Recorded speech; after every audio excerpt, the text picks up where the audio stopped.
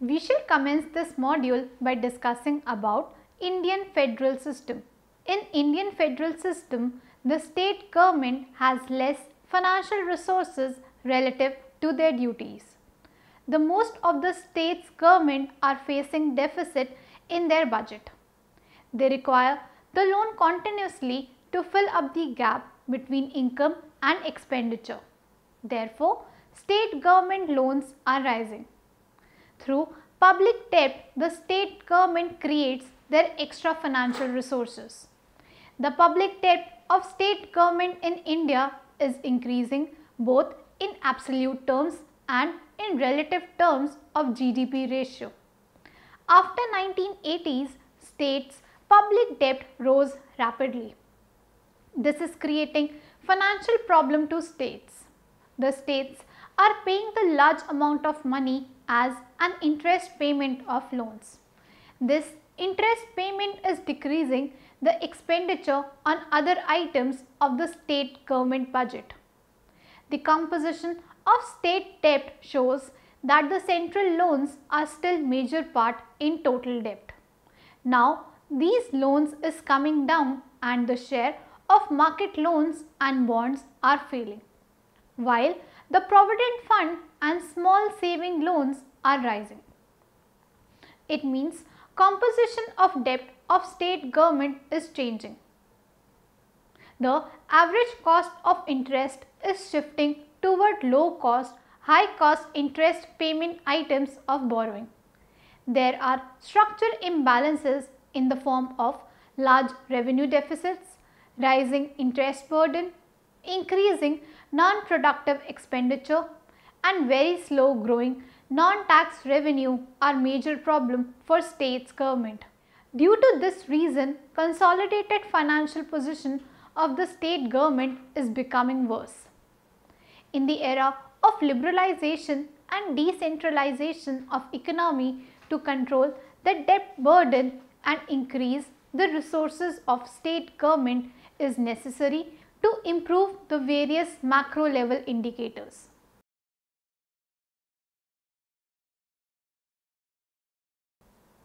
After studying this module, you shall be able to know the financial resources of state government, understand about the deficit and debt structure, know about the effort to control the debt per GDP ratio, know about the expenditure responsibilities of state government. Let us now begin our discussion about the financial resources of state government. We can classify the state government financial resources into state tax revenue, share of central tax revenues, non-tax revenues, non-plan grants and plan grants. The state government can charge the taxes on state list of constitution. The taxes on land revenue, the taxes on agriculture income, most of the state government are not charging these tax because the revenue collection is very less in comparison to the expenditure on revenue collecting administration. There are some political reasons also. The people who are earning from the agriculture either they are very poor or rich absentee landlord. The first are doing agriculture for survive and second for just collecting the rent. The agriculture income is a big source of creating black money in the economy. The taxes on land and buildings due to the rapid industrialization, the government is converting the agricultural land into the other purpose the government is getting revenue from this conversion. The revenue is continuously increasing from the taxes. The taxes on mineral duties of excise on alcohol are important. The state government issues the license for this purpose and gets good revenue. The taxes on sale and purchase of goods other than newspapers. Earlier it was sale tax now it have merged in value added tax VAT and in near future GST will take place of this tax. The taxes on goods and passengers carried by road, the taxes on vehicles and the transport department collect this tax. Now the number of vehicle is increasing in country. So it is giving good revenue to state government. The taxation on professions, the area of these taxes is very large. But due to political reason, the state government is unable to charge so much from this tax.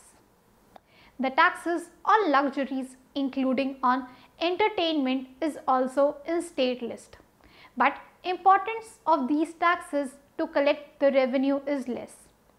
The state government use this tax for controlling purpose in placing to collect the revenue. The taxes on entry of goods into a local area. Due to decentralized policy, the tax revenue from this tax is going to local bodies. The government is transferring the revenue to infrastructure developer through public-private partnership project. After all, it is providing enough financial resources to state government and taxes on advertisements other than those published in newspapers and broadcast by radio or television is increasing due to the growing market in India. The share of the state government in central government taxes.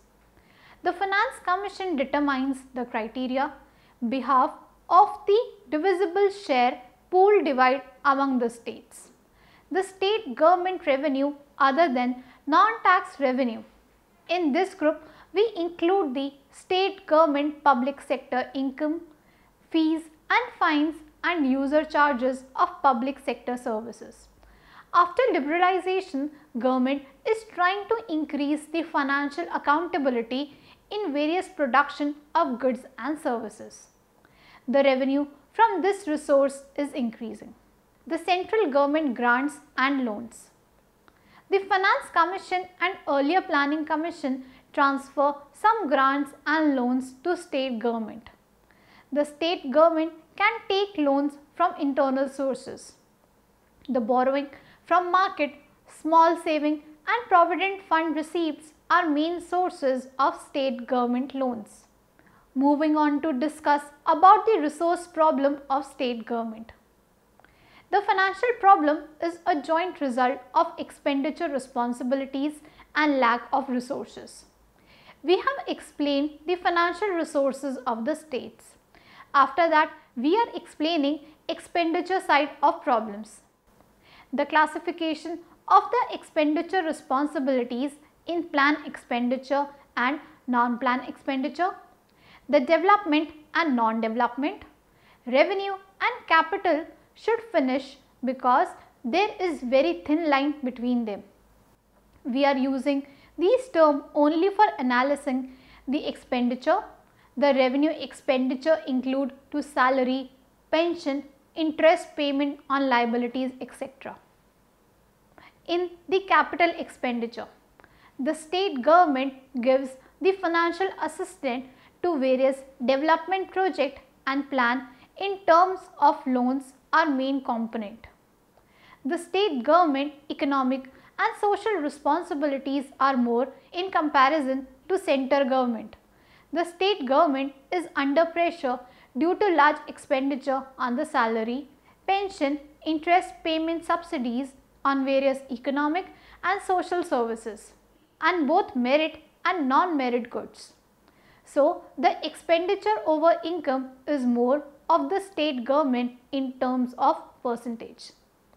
The new pay commission, any disaster and bad weather etc. always worse the financial condition of the states.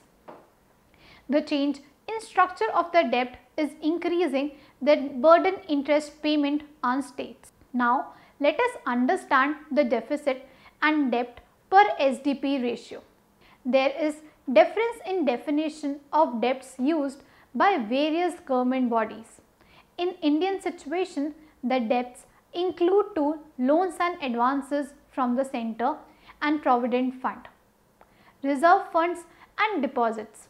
According to Richard Musgrave and Peggy Musgrave, public borrowing involves a withdrawal made in return for the government's promise to repay at a future date and to pay interest at the interim. The article 294 state that the states can take loan from the internal source of the country. The states are taking loans from Government of India, commercial banking and non-banking market institutions, small saving and provident fund receipts etc. All the finance is a part of public debt. A state requires the loans to fill up the fiscal deficit, but the fiscal deficit in a given year should equal the sum of increase in debt. The fiscal sound states are in better situation in comparison of the fiscal weak states. The Finance Commission and Planning Commission gives a classification of special category states and non-special category states. They use this criteria to transfer the resources. This helps to monetize the state government deficit. The non-special category states are able to sustain the fiscal deficit in comparison to special category states. Generally, all the states are getting transfer from central government according to their fiscal discipline. But in some case, some states are getting more after the fiscal indiscipline. Some states are taking loans for special purpose which they are not showing in their budget. This loan will automatically include in liabilities. There is some unilateral loan which states never return. They are increasing the liabilities and states are paying the interest payment on them. The high proportion of interest payment in budget create budget deficit. So, it have become a circle that deficit create debt and debt create deficit. Now, we will move on to discuss about the control of debt. After 1980, the debt situation start to reach at critical point and the debt per GDP ratio is increasing. Now, it have reached at 24% in 2014. The situation starts to become worse after 1980s. The central government should increase the transfers, but the central government transfer was based on various criteria and the state government traditional system was unable to control the situation. In 1990, the state government start to use the various financial technique to finance their budget deficit. The traditional mechanisms for curbing excessive debt accumulation to control capital market risk, electoral disapproval and control debt through selling the assets have not provided significant impetus to fiscal correction. India's system of intergovernmental transfers have remained basically sound and it continues to provide a relatively transparent, predictable and rule based framework. But that was unable to increase the enough transfers to control the situation. In this federal system, the horizontal efforts are insufficient to solve the problems of debt of states because there is large vertical imbalance between center and states. It may short term popular solution but it cannot solve the problem in long term. The long term solution is resource transfer and decreases the responsibilities of state. Liberalization of economic markets and decentralization of the taxes power gives some opportunity to strengthen the financial situation of states. But broad based tax reform, financial market liberalization and banking sector liberalization have lagged far behind liberalization of the market for goods. Much additional reform in these subjects will be required to increase credit worthiness and more mature markets for state debt and policy regime changes succeed in dispelling the notion that future budget constraints for states and municipalities might soften. Subnational government is likely to become both more accountable and more effective in meeting society's public needs. Although debt obligation for most states are manageable with reasonable programs, efforts to date at fiscal correction have not been equal to the challenge. Now, let us now summarize what we have learned in this module. The problem of financial resources of state is due to vertical imbalance of resources between center and states.